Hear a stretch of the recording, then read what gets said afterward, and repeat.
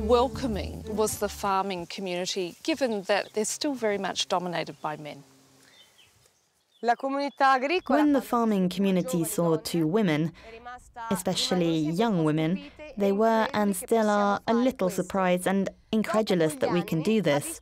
But over the years, they've seen that the fields were well kept and we are indeed growing crops, so they've realized that we can do it too.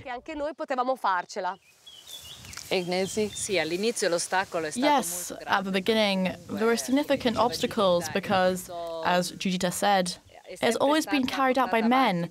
But it's true that women can do the job with a different sensitivity.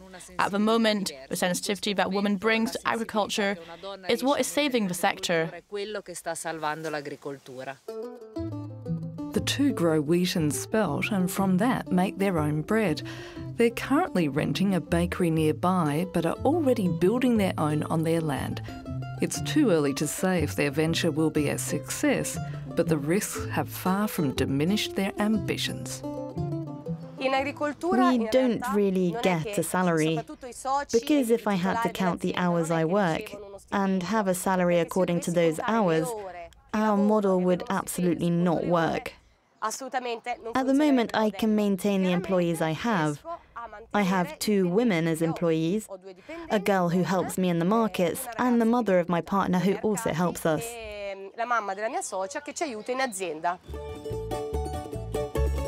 Giuditta is also a local leader of Donne Impresa, a movement promoting women farmers.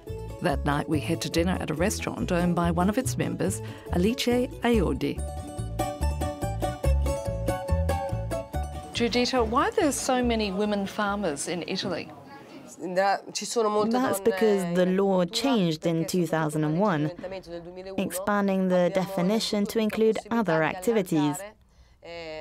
In addition to cultivation and livestock, women have the opportunity to pursue different activities. Diversification for women is becoming the key factor. Mostly it allows them to better express their talents and skills. Agricultural tourism, hospitality, social activities and producing goods. Alicia, why are networks like this so important for women farmers? It is important to have unity in general among people, especially among women, because we have the same goals and the same will to promote each other.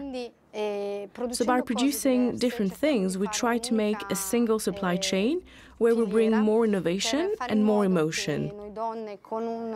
Women do bring a different sensitivity compared to men when it comes to agriculture, that's still dominated by men.